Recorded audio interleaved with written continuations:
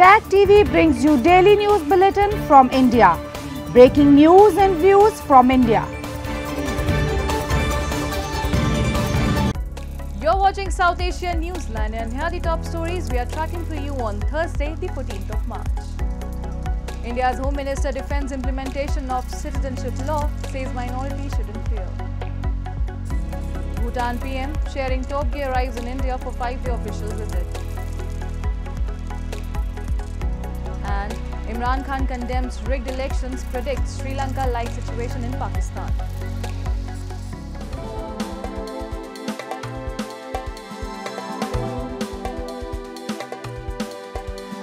And now for all the details.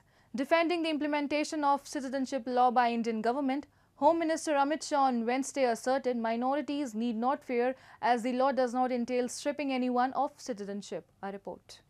Addressing concerns surrounding the Citizenship Amendment Act, India's Home Minister Amit Shah on Wednesday said there is no reason for minorities in India to fear as no clause in the citizenship law suggests that nationality of anyone will be taken away.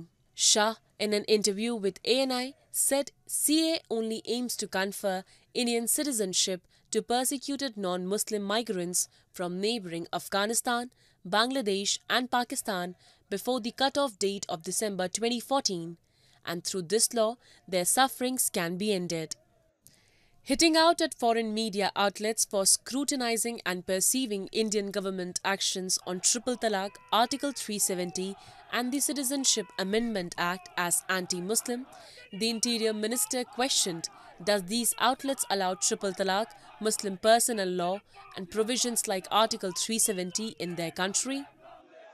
इसके अल्सम अल्पसंख्यक minorities या तो किसी और व्यक्ति को डरने की ज़रूरत नहीं है क्योंकि सीए में किसी की नागरिकता लेने का प्रावधान ही नहीं है।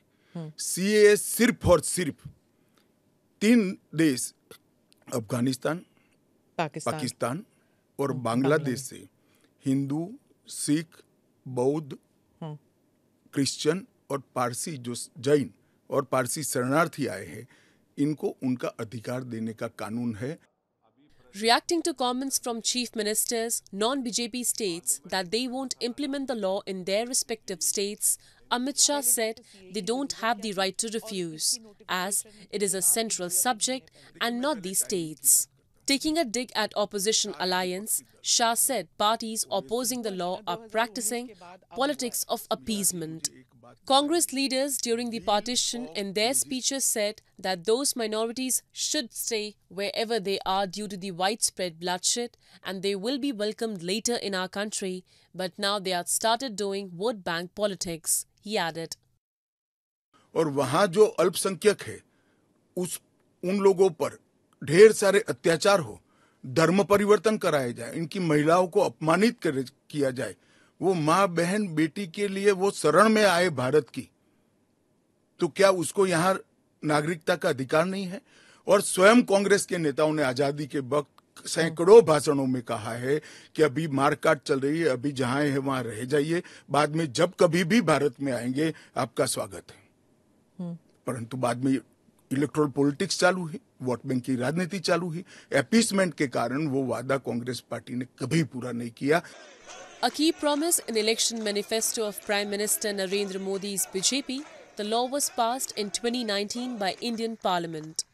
While the law makes it easier for non-Muslim refugees from neighboring Muslim majority to get Indian citizenship, opposition and Muslim groups say the law is anti-Muslim and if combined with a proposed national register of citizens, could discriminate against India's 200 million Muslim. In his maiden overseas visit after resuming office in January 2024, Bhutan's Prime Minister Tshering Tobgay arrived in New Delhi on Thursday for five-day official visit. Making the first pit stop in capital New Delhi, Tobgay will hold bilateral dialogue with his Indian counterpart Narendra Modi and President Draupadi Murmu before departing for Mumbai. Indian Foreign Ministry in a statement had said the visit by Bhutanese Premier will provide an opportunity for both sides to discuss ways and means to expand the enduring ties of friendship and cooperation between New Delhi and Thimphu. Tobgay, who had assumed charge earlier this year, had also made clear his wish to maintain a deep relationship with India, the largest donor and trade partner of the Himalayan kingdom. And incarcerated PTI chief Imran Khan slamming the Pakistan's general elections has predicted that Pakistan will witness a Sri Lanka-like situation as the nation's hopes were shattered by stealing the mandate. Khan said that his all predictions have proven true, further iterating that he was not engaging in talks with the current rulers to reach a deal. He further said that the voters took revenge on the polling day, but the change via vote was not accepted. As Pakistan is about to seek a final tranche of loans from the IMF, Khan said that the nation will take to the streets after a new wave of inflation. Multiple legal cases were brought against Khan, which disqualified him as a candidate and sentenced him to long prison terms. However, he denies wrongdoing. Meanwhile, Pakistan Finance Ministry on Wednesday has said global lender IMF will hold a second and last review of Pakistan's $3 billion standby arrangements this week during which the South Asian nation will ask for a new longer-term bailout.